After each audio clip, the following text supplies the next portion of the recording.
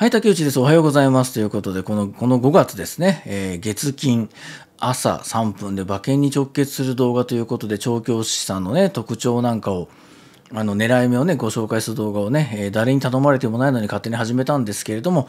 えー、今回のテーマ、えー、久保田調教師の狙い目となりますが、あの、回収率が高い厩舎なんですけど、絞り込もうということで、2021年、2022年の回収が190、270と、まあ、なんかすごいことになってるんですよ。うん。ただ、やっぱね、ここぞの一撃を狙うっていうところで、あの、馬券買う側ですね、僕とか皆さんはそういうあの、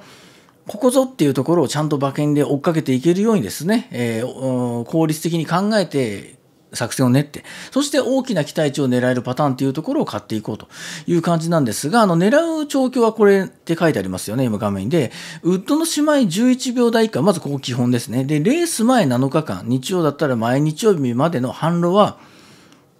まあ、61秒台ぐらいのところが上下幅の目安で、そこから早いほど好成績にはなっていきますね。で、合わせ先着しているか併入しているっていう形が、あの、ウッドの方で追い切りで、これが神ですね。勝率が30.4%、単回数376%あります。で、えっと、まあ、62、3秒でも買っていいんですけど、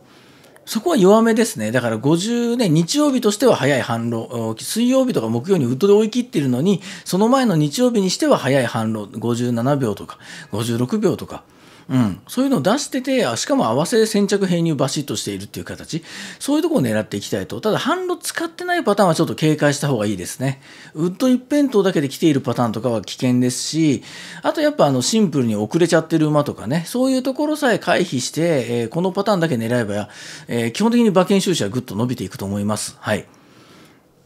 まあ、あとはそうですね、その62、3秒台のところで、あの、馬券内に来る馬も多いので、その辺を割り切って、あの、少額買うみたいなね、そんな形がいいと思いますね。